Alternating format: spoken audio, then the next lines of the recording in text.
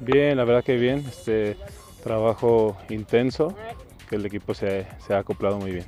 El torneo Promesas este, llevamos un partido ganado y el otro lo empatamos y lo ganamos en penales. Es Pachuca Premier, eh, la segunda división.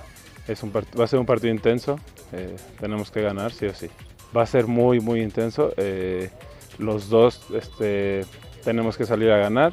Eh, hay algunos exjugadores que, que pasaron por aquí, entonces va a ser un partido muy, muy importante. Sigue, sigue octavos de final, sería contra el grupo, el que pase del grupo 11, en el cual me parece que está Pumas, eh, Zacatepec y otros de, del Estado de México.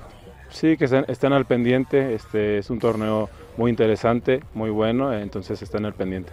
Sí, al final muchos vienen de, de, esas divisiones también, muchos han pasado por tercera división, segunda división y bueno, es una experiencia eh, muy buena el tener roce también con, contra esas divisiones.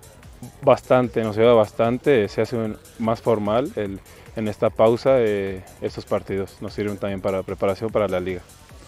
De ahí los invitamos que nos sigan por eh, las redes sociales de Fuerzas Básicas Club Pachuca, estén al pendiente ahí.